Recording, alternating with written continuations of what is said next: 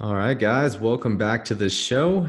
I am super pumped for tonight's episode. I have a, a special guest I, I, found through Instagram, which tends to be how I find the majority of my guests these days. Uh, but but this one is is special. This is another dad that I'm bringing on to the show.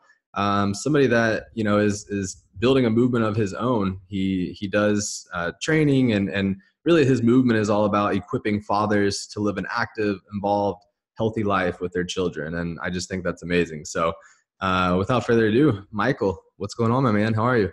Justin, thanks for having me on, man. And you're absolutely right. Doing a podcast myself, it's amazing how many guests we sign via uh, through IG, right? Dude, it's it's crazy, man. I mean, it, it just goes to show it's like a lot of people out there, and I talk about this all the time, but a lot of people out there, you know, they talk bad about social media, and I, and I totally get it. Like, there's definitely negatives that come from it, but the ability to build a, a podcast. I mean, I've literally done almost 100 episodes over the last three months, and 75% of those have, have been literally me just DMing people on Instagram. Totally.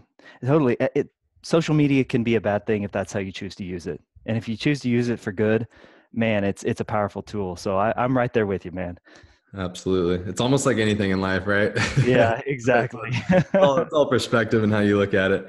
Um, but but Michael, so so keeping it true to the the podcast, I'm I'm really excited to be able to, to dive into your story and and I don't know you know how much of your story you've, you've shared with your guest. I'm sure you have, but um, yeah, man, let's let's take you back. Where were you Where were you born? And um, kind of tell us a little bit about yourself as uh, kind of through those growing up in elementary school years. Yeah, man. So uh, I was born in Manhattan, Kansas, the Little Apple, not the Big Apple, and uh, so um, in uh, you know going let's see elementary school, man. Uh, it's so funny because I'm actually in the process of writing a book right now, and I just not too long ago finished the chapter where I talked about how I came to find my purpose in life. And I started way back as a young kid and with that with telling that story. And man it's um it's crazy because i grew up with a fantastic family uh, just wonderful mother and father two sisters one older one younger. And you know i, I never wanted for anything. Uh, we certainly weren't wealthy by any means but uh, we were we were upper middle class and i never wanted for anything but i was always very very driven for uh, towards, I should say, um, adoration, um, acknowledgement, attention. And so, you know, a lot of people can take that a, a lot of different ways. Some people take that and, and run with that that desire to fill that need in their life and and do bad things with it. I actually said, okay, I'm going to get noticed for the good stuff that I that I want to do. So I, you know, was in elementary school all through high school. Like I never got less than an A. I was a straight A student every single all 12 years of school because uh, they actually handed out you know letter grades back in first grade back then. But um, you know so I, I, wanted to be a good student. I wanted to be my the the student that my teachers adored. Like i, I wanted to be this the teacher's pet. Like I, I wanted you know the the acknowledgement that came from you know eventually in high school being of being the valedictorian but man what that what that also does is you start to create an identity in yourself um, that is reliant on what other people think of you. And so while it never got me into any trouble certainly in elementary school i also got really good as people started you know giving me the the attention that i was i was seeking. I got really good at doing things to make sure not because I wanted to do them myself, but because of the the adoration or the attention that it would get me. And I got really good at gaming the system. And so, I mean, you asked about elementary school, but I feel the seeds were planted there. Eventually, in high school, I got really good at getting by without really doing much of anything, simply because my teachers thought that I was a good kid. Um, and and we can get certainly deeper into how that manifested itself down the road. But you know, I I do continue to go back to I had a, I have incredibly supportive parents and a, and a great family. Uh, my my growing up years were about as enjoyable as a kid could possibly imagine. So, um, yeah, that's that's kind of where things start. Yeah, no, it's amazing. It's it's always interesting. I mean, as I take people back and and just kind of hear their story and learn about their journey. I mean, it's just like nutrition or, or fitness or anything else. You know, it's like every single person is so different. Like everybody yeah. has their own story, and and there's so many people that like don't really feel like I guess they they have a story to tell, or it's maybe not as exciting or crazy, uh, you know, as other people. But it's just like that's kind of the point of this podcast. It's like you know, I love I, I think that every single person has a story to tell, and so um, yeah, man, it's it's cool that you had that support with with parents because I know that you know that's that's huge, and it's cool that you're able to like you know acknowledge that and and then really pay it forward, you know, later in life and and help other fathers, you know, kind of do the same and, and live out that same life. So that's awesome. Did you have brother and sisters as well uh, growing up, or was it just you? Or I had two sisters. Uh, so I had an older sister and a younger sister. Got it. Got or it. Have they're they're both here. yeah, I have. Got it. And did you did you do like the whole like sport thing in, in elementary school, middle school? Like, were you playing a whole bunch of sports and then you kind of narrowed it down into high school, or what did that look like? In as a as an elementary school kid, you know, my main sport was uh, I played baseball. Um, I played baseball every summer. Uh, some summers I hated it. Some summers I loved it. I think that kind of had to do with the the team that I was on at the time. But uh, you know, I, it was mainly baseball. I I spent a lot of time outside as a kid because our house backed up to a our city park, and so I was at that park constantly, either on the baseball diamond or you know, and wading in the creek, catching tadpoles and, and minnows back in the creek with my friends, or uh, you know, just messing around on the playground equipment, getting out, going out at night, and kind of scaring ourselves in the dark shadows of the of the park. But uh, yeah, it was baseball growing up. Eventually, once I got into middle school, where we had more options, you know, I, I was I was not a big kid and so I was never really all that interested in trying to put on some football pads and step out onto a football p- field and get clobbered by, you know, the guys who were twice as big as me. So I really gravitated towards running. it was a non-contact sport. and so uh, I got it once I got into middle school, I really I really took to running and that became a lot of my identity in middle school and and uh, on into high school and college was was as a runner, a long distance runner. Very nice. So did you do like the the whole like cross country thing or was it like more of the mile or I did. No, I did cross country and and then ran the longer distances, the mile, 2 mile. And the lowest distance I ran in track was the 800. Uh, but I I hated track uh, once I got into high school just because it was pretty boring. I mean, eight laps around a track. There's only so much you can do to distract yourself there. yeah. But uh, I, man, I absolutely loved cross country. Um, it, it still to this day is the thing that I'll say it's the one thing that I miss about high school. I just, uh, I absolutely loved cross country. I loved the camaraderie of the team that we had, and we were a pretty darn good team. We were one of the top ranked teams in the state of Kansas, and uh, all four years that I ran, and it was just it was fun and i was good at it. I, I had a kind of a natural penchant for distance running. Yeah that's awesome. Yeah i actually did cross country as well um, and it, it all stemmed in elementary school. I actually had this amazing pe teacher named mr cox and he created the owen sprinters and every tuesday and thursday we we ran. It was like 30 minutes or whatever before school but um, yeah, that led into cross country and, and, really having a love for running. These days, I absolutely despise it, but I don't do it at all either. yeah, that's, that's, a that's a whole nother story. Yes, um, it is. so, what position did you play in baseball? I kind of went back and forth between second base and shortstop. So I was a middle infielder uh, through and through. And you know, it's I don't like to say I have regrets, man, but it is a regret. Like I wish I would have kept at it just like I wish I would have kept at playing piano when I was younger. Um, just it's one of those things you look back and you're like, man, I had a talent for that, and I just did not. I didn't have the level of commitment that I think I have now and that I've established in my life. I mean, I can remember one time after a baseball game, we lost pretty bad, and I was driving home with my dad. I was in the the passenger seat of our car, and you know, he he looked over at me and he's like, Michael, do you even do you like winning? Like, what do you do? You, or do you do you care about that you guys just lost? I vividly remember that conversation, and I kind of nonchalantly was like, "Yeah, I don't care. I, I kind of like winning, and I don't really mind too bad too much when we lost. I just think it's a game." And my dad, he lit into me.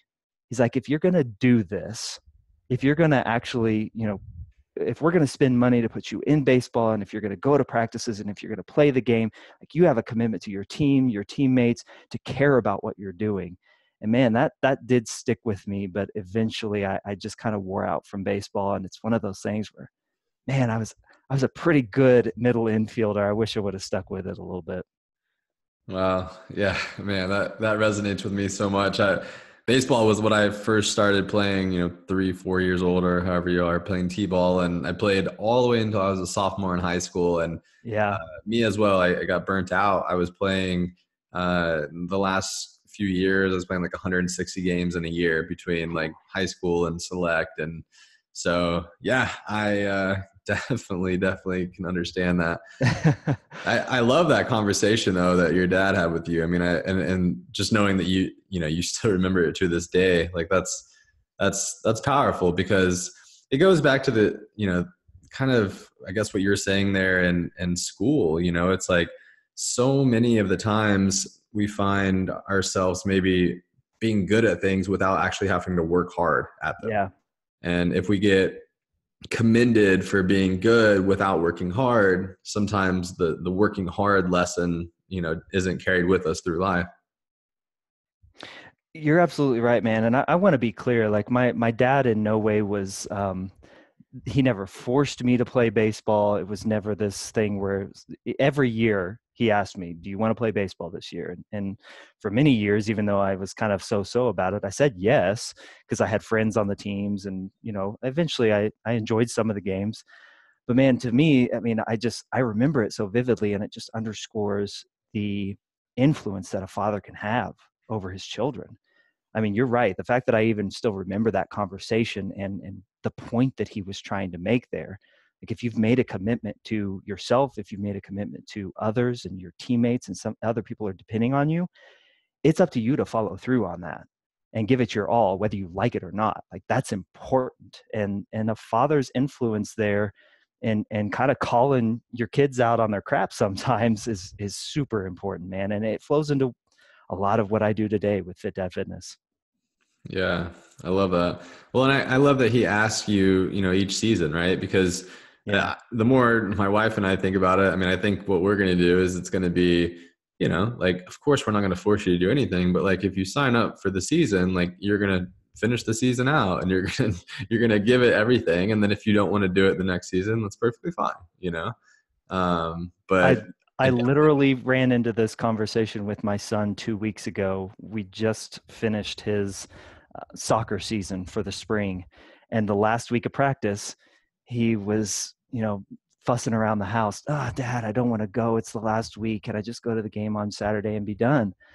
And I, I had the same conversation with him, man.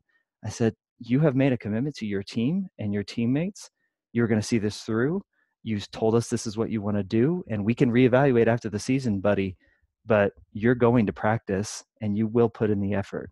Like that is a non negotiable. Love that. Love that. So, talk to me a little bit about you in in high school. I mean, were you always like you're you know you're fit dad fitness now? Like, were you always the the fit guy? Were you always in the gym? Were you always into health and fitness and all this through through high school years? Or no, man. Um, no, I didn't find the the gym until long after. Uh, I I tried.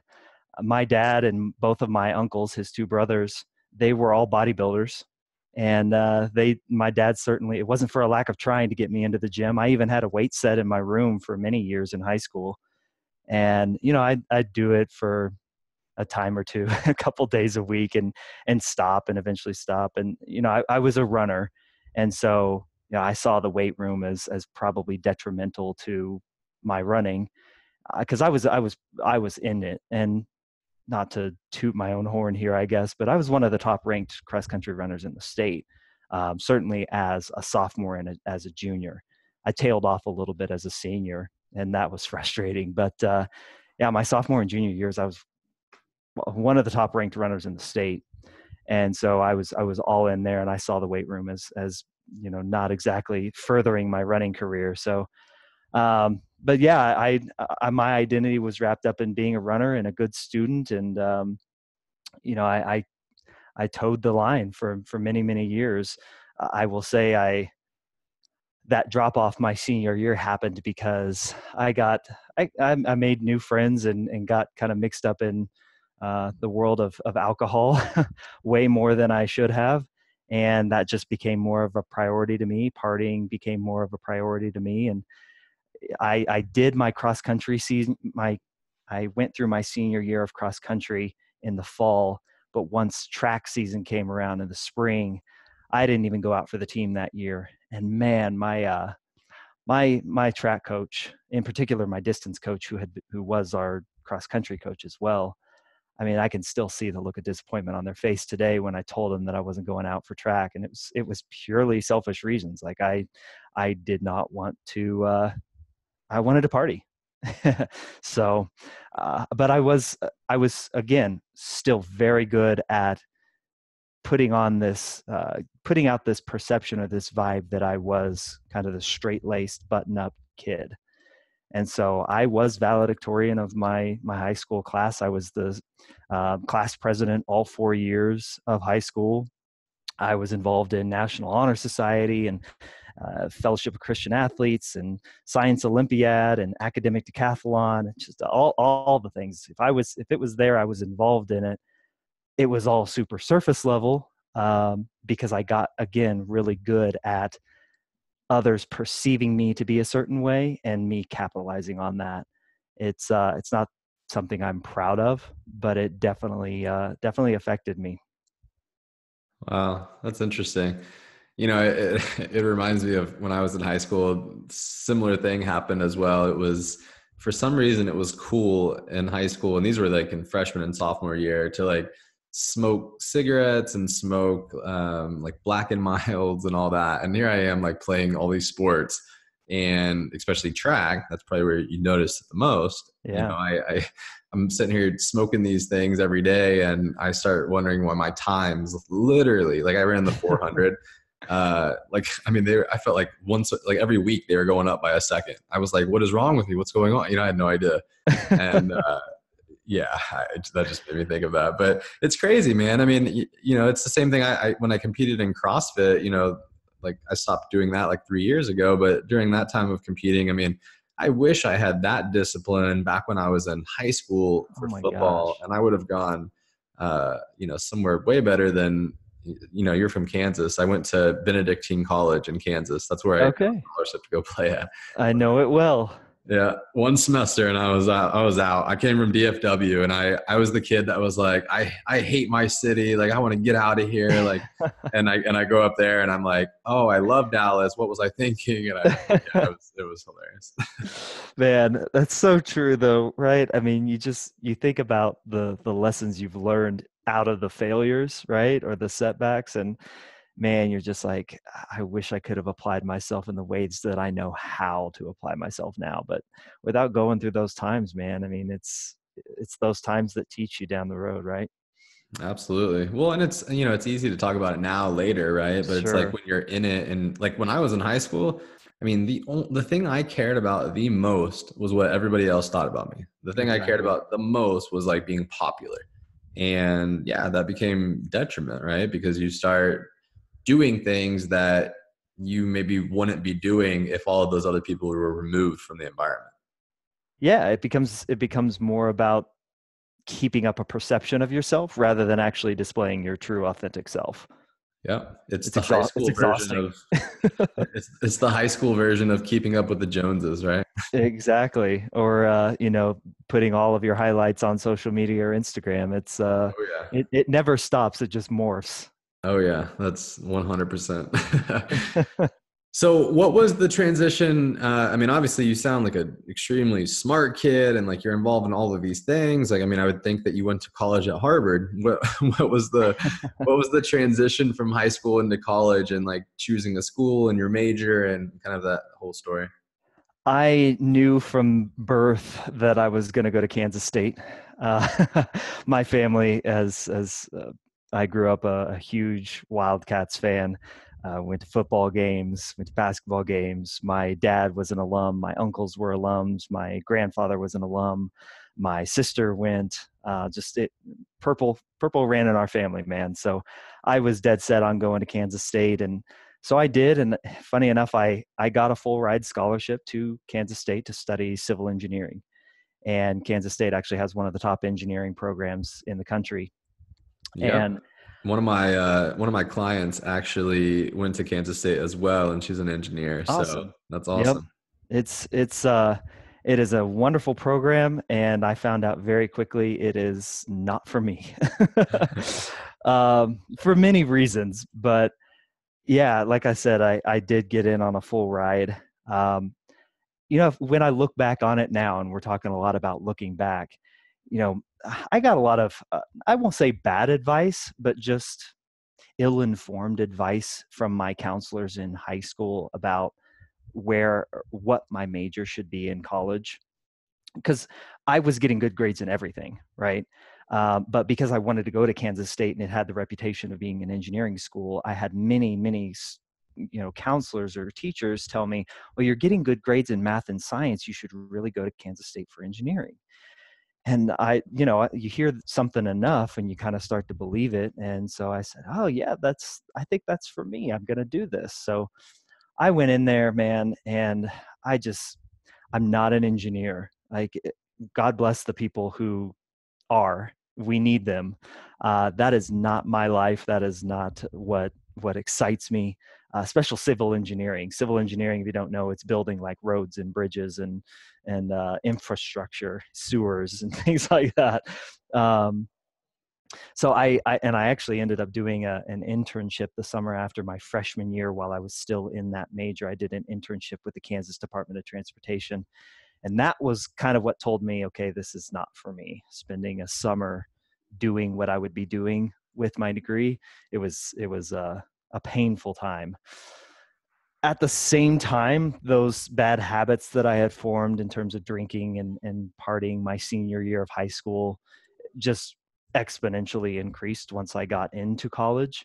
Um, I was a member of the marching band at Kansas State, so uh, that provided a, another environment, like a built-in environment of, you know, just parties and and going to going over to friends' houses and and drinking uh, after games or whatnot. And so my grades suffered from that as well. And eventually I got myself to a point where I was on academic probation and I had lost all of my scholarships. And basically they told me, um, you know, you have one semester or you're kicked out. Wow. Wow. That's crazy. Going from getting a full ride scholarship to and this you said within the first year, the first semester this happened or the it was the um first semester of my sophomore year that I had been placed on academic probation. Uh, so I had the second semester of my sophomore year to get my act together, and that was actually when I I changed my major. Got it. Got it. Wow, that's that's that's a lot. that's that's uh that's heavy as they say. you, you, might you might now kind of see why I'm writing a book about it because there's a lot to it. There's so much more to explain into how that happened, man. But yeah, it, it, it goes back to what I talk to people about today when I coach them is I was not placing things that should have been a priority as priorities in my life. I, you know, school and grades and going to class while it should have been a priority it simply wasn't. I again cared about drinking and partying and what other people thought of me like those were my priorities and my actions and behaviors reflected that and my grades man they dropped off and they dropped off hard. Oh yeah. I i mean dude i trust me man i my story, I don't know if you've if you've ever heard it, but yeah, it, it started in in basically junior year of high school and led into much more than drinking. I mean, at our high school, like ecstasy was huge, and you know that led into then going into college and and you know it, identifying with those same types of people, and you know eventually like getting it, losing my scholarship, getting kicked out of of uh, school there after one semester. So. Mm. Uh, I totally get it, man. It's it's easy yeah. to do. You know, it's very very easy to do, and and I think um, you know, again, I I look back on it now, and it's I guess it's easier to talk about. But when you're going through it, it's it, I, I don't know. It's it's just it's hard, man. It's it's something that you don't you get caught up in that kind of like fast life or or you know trying to to impress everybody and be cool and all of this. You you really do lose that identity. For sure, and if you don't have your head on straight and you get that much freedom and and wiggle room to pretty much do whatever you want. You know, I was two and a half hours away from home. I had no one looking over my shoulder, no one telling me what to do. And eh, college at that point was freedom from the expectations that had been put on me back home. You know, at home, I was the good kid. I did everything right. I, you know, valedictorian, straight A student, uh, go to church on Sundays. Like I was the poster child for what the good quote unquote good kid should be. And man i rebelled in a hard hard way and it kind of sounds like you maybe did too. I mean I, I, will say i am if there's anything that i am proud of that through that whole situation i never did anything worse than drinking but i say that in, in the same sentence i can say you know i, I drove home drunk many times put myself other people's lives in danger.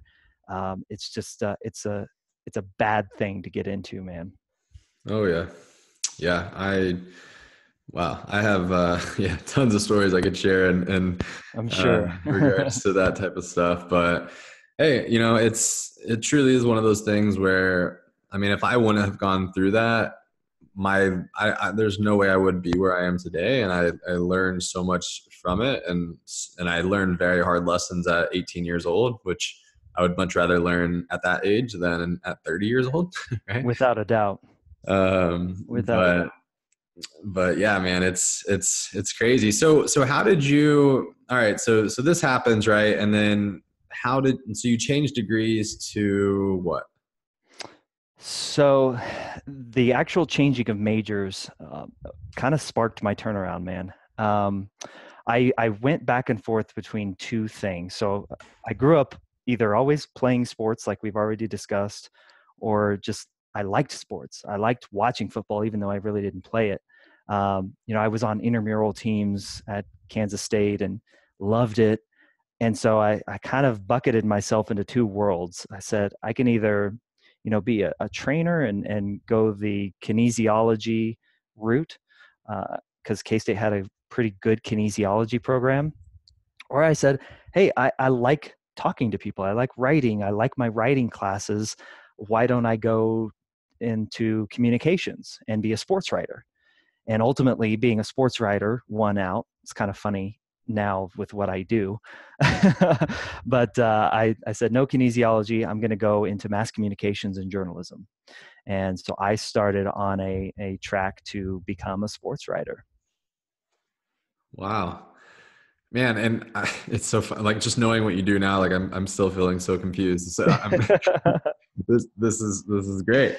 Uh, okay, so you, you transitioned into into the sports writer thing. Were you, were you? Um, I mean, you were good at uh, everything in high school, but like writing in particular, were you? Did you find you had a knack for that in high yeah. school as well, or? Yeah, and if I if I look back at high school, that was where I most enjoyed. Those were the classes I most enjoyed. The literary, the literary classes, the the writing classes, expository writing classes, the English classes, where I could, you know, be creative with my words and be communicative and tell a story with my words. Um, those were the classes that I I just I really enjoyed those, man. And so once I got once I got on a path in college that I said, hey, I can make a career out of this. Uh, like I said, that's what started to turn things around, man. I, I really poured myself into this new career and degree path that I had chosen, I saw it as a way to start new. I saw it, saw it as a way to uh, recover a lot that I had lost and and also learn a lot about myself and my ability to bounce back from you know kind of the brink in terms of my academic career. Um, I, I saw it as hey I'm, I'm going all in with this for the for the first time I, I really had to try very very hard because I couldn't rely just on a preconceived notion of who I was to get by. Interesting. It makes me think back to what I mentioned earlier about the whole like working hard thing. you know, mm-hmm. sometimes just being good isn't isn't enough. Yeah. Um, that's powerful. It's, so did you did you graduate with that degree then and then what was like the first job kind of out of school? I did. I graduated with a degree in mass communications and journalism. I uh, I eventually worked my way up to being the managing editor of the student newspaper there.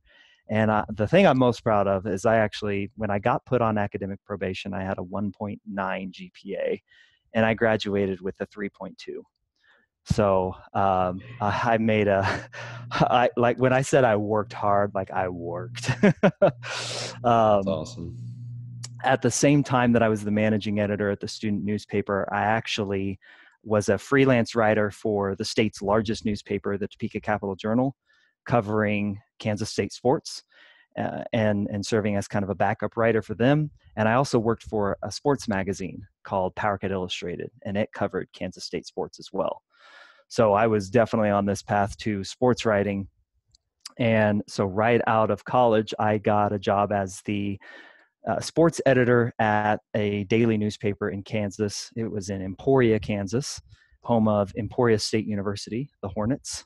And uh, I was the sports editor. I had a sports writer who worked with me, and yeah, right out of right out of college, I was uh, on one of the you know the the Emporia Gazette is actually in the journalism world a pretty prestigious newspaper. If you've ever heard of the name uh, William Allen White, he was an author, a politician, and a newspaper man. It was his newspaper, so um, it was a pretty it was a pretty big role for somebody fresh out of college to step into. That's awesome. Well, and I mean that had to be a good like confidence boost for you, kind of coming off of you know the the previous uh, uh, adversity you had to overcome there, right? Yeah, it it was, and it was validating in a lot of ways, for sure.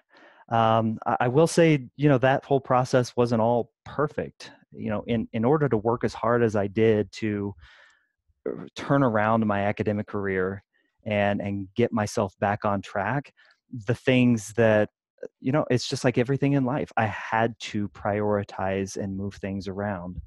And so, you know, partying and a lot of friendships fell by the wayside. And I, I graduated with not nearly as many friends as I went into college with, um, just simply because that lifestyle was not my own anymore.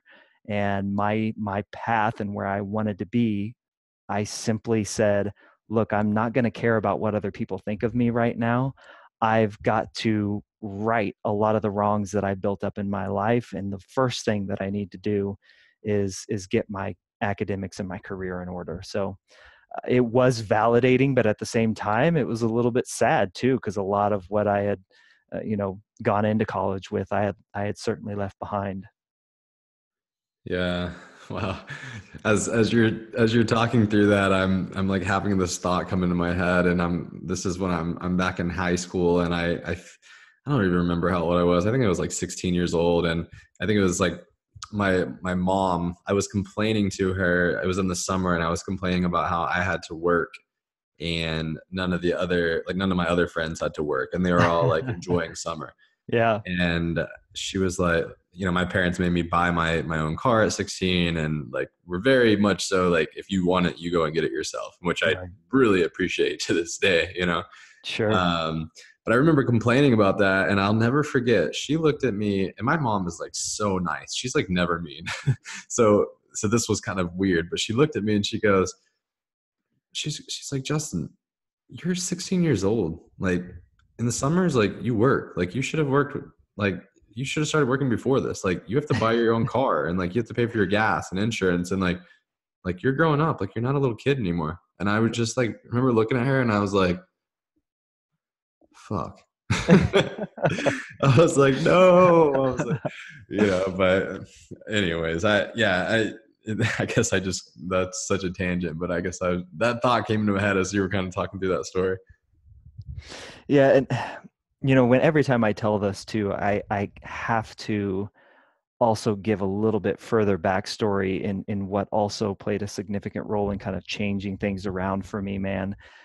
Um, so forgive me if I, I go on a little bit of a tangent here, but um, I to graduate, I had to I only grad I, it it only took me one extra semester to graduate. I had to stay over during the summer semester to take one final class. Um, so I, I technically quote unquote graduated in the spring of 2006, but I had to take one class in the summer of 2006 to finish my degree. Uh, it that summer, I stayed, of course, back to take that class, and I was in my apartment. I I was working that summer as well. I, I was on the grounds crew uh, on campus. I don't know how I came to that job, but um, I came home from work that one day and I went in to use the restroom and I felt a lump.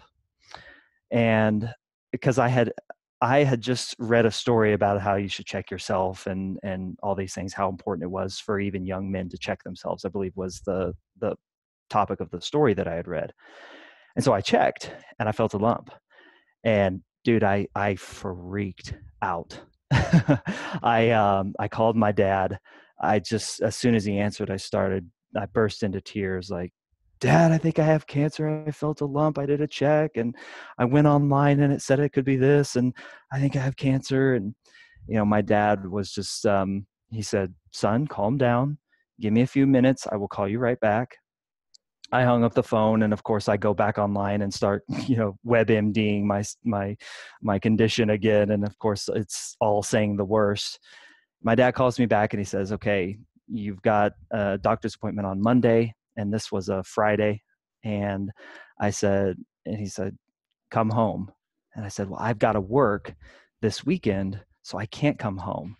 and he said do you want me to come out there to you and i said no i'll, I'll handle it you know I'll, I'll see you on monday man after that um, after that phone call with my dad ended i spent the next several hours just on my knees in my room crying um, I, I cracked open my bible for the first time in years and just started praying and and pleading with God like I let me get through this and I promise you I will change. I will and it, it's always one of those situations man where people get in that situation and they make promises to God and you know just save me and I will I will do this thing. I will be a better person.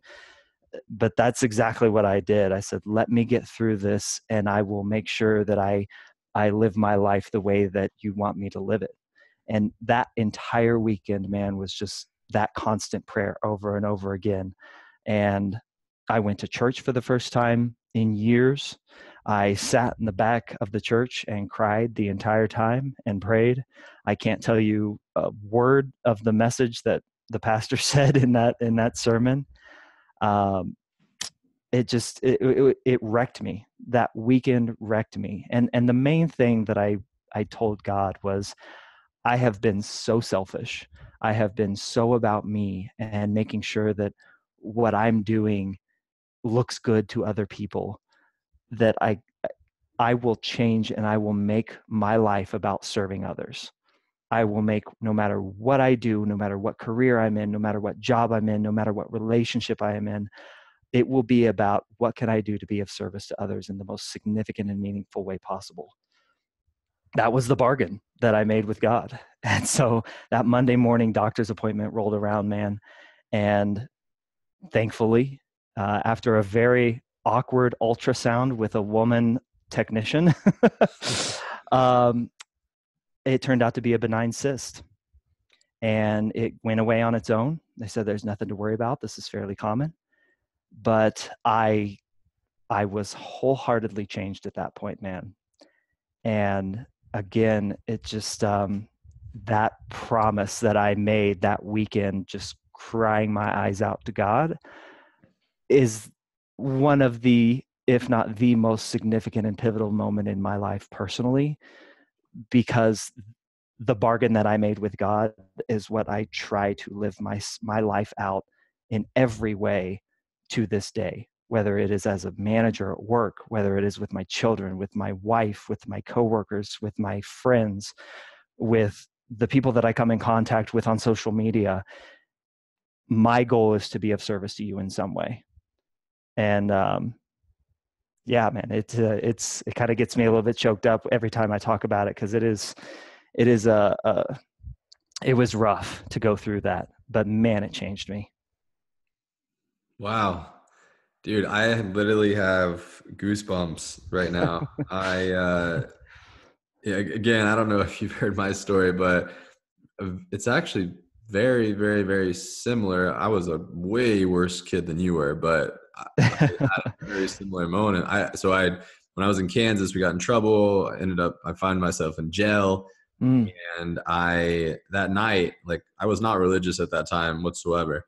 That night I was facing um, it was pretty crazy actually. It was so I was facing uh, two felonies, seven misdemeanors, and two years in jail. Man, and I was not religious at the time at all.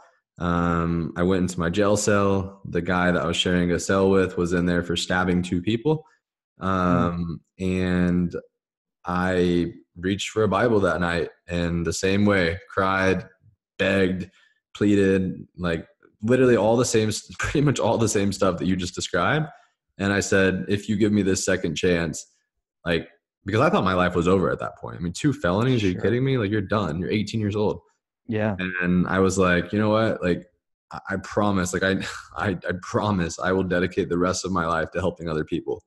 And that next morning, I got out of jail. And long story short, I ended up um, actually getting everything expunged and I had nothing on my record and but it you know 10 years ago that moment changed my life and it led the rest of my life you know serving other people helping other people and I had no idea what the avenue was at the time. Yeah. Um so wow that it's crazy just how similar like that moment was because I can I feel like out, out of a lot of people out there like I can really really relate to that because your story really resonates with with what I went through no doubt, man. And I, I, guess I feel like we should mention to the listeners, like this is the first time you and I have ever talked. So first time, this is, yeah. This is crazy, man.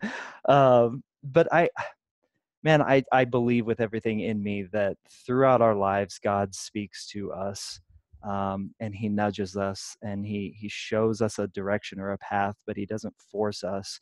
But there does come that point where He kind of puts His hands on our shoulders and shakes us and says, You need to listen to me.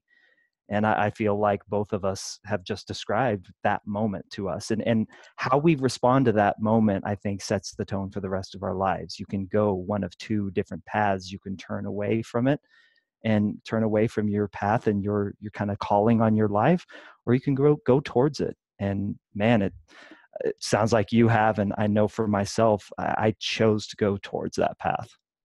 Yeah, absolutely. I mean, it's a two way street at that point when you get that second chance. It's like, do you go back on the word that you just said, or do you truly embrace it and realize that you just got handed a second chance at life?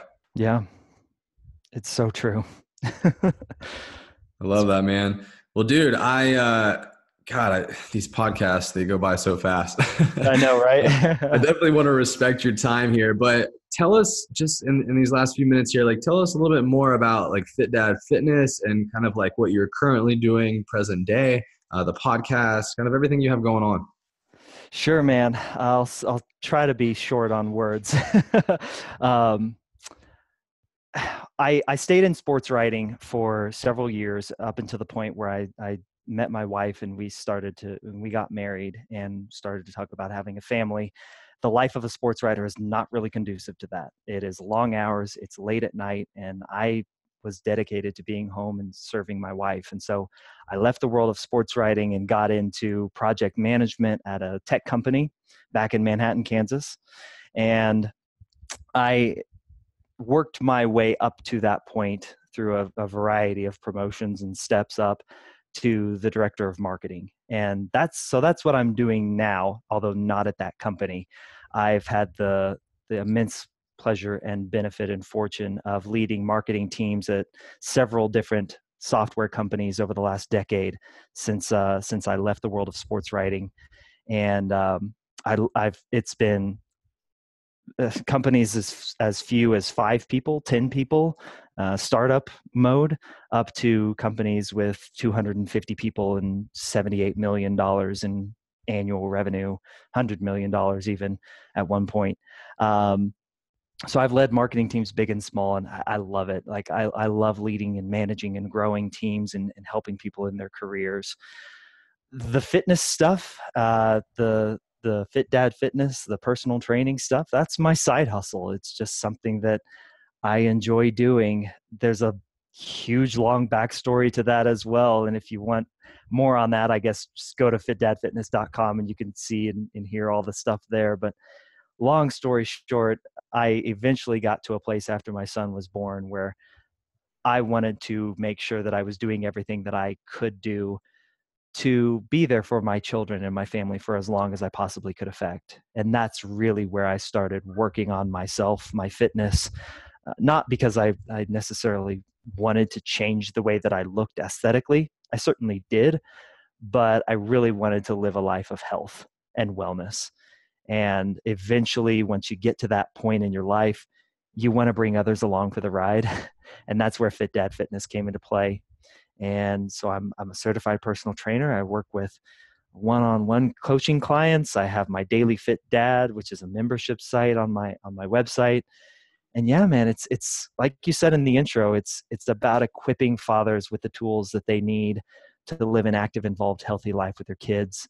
And uh, that is my it's my passion project right now and i absolutely love it. I've got my podcast. It's it's just all over the place. So uh i'm a, I'm a busy man but i'm a blessed man. Yeah that's amazing man. That's that's awesome. How do you um i mean i guess a, a question that probably a lot of listeners have right now is how, how do you find the time for for all of this i mean you, you got a you got a six pack here on Instagram. You got you know you're a dad. You're a you're a um, a husband.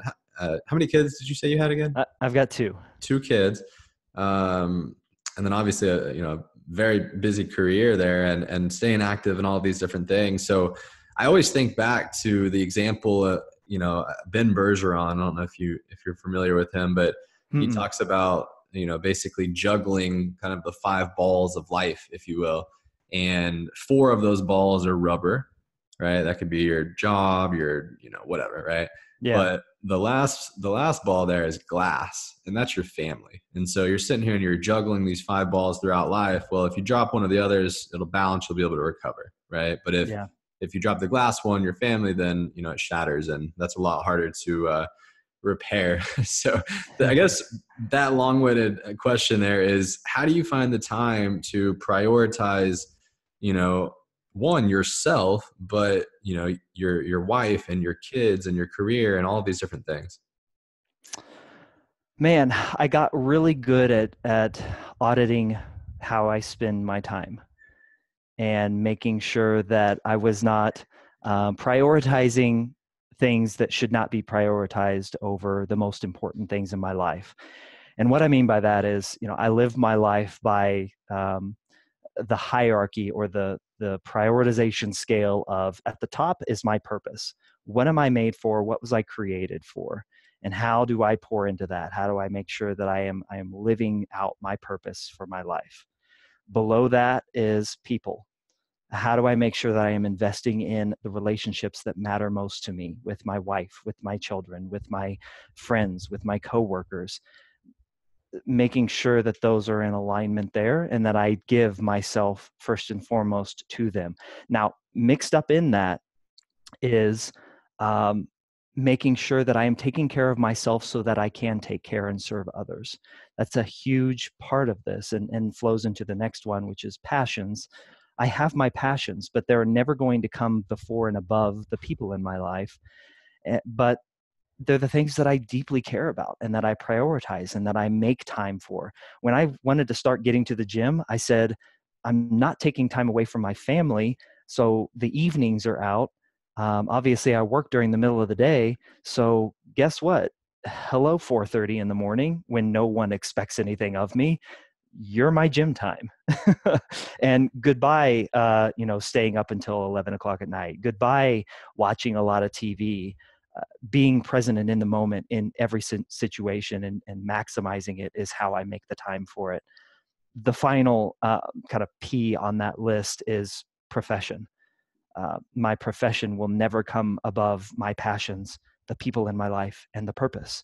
And I find whenever somebody has those out of whack, that that hierarchical structure in someone's life does not follow purpose at the top, then people, then passions, then profession your life is out of balance. It's out of whack.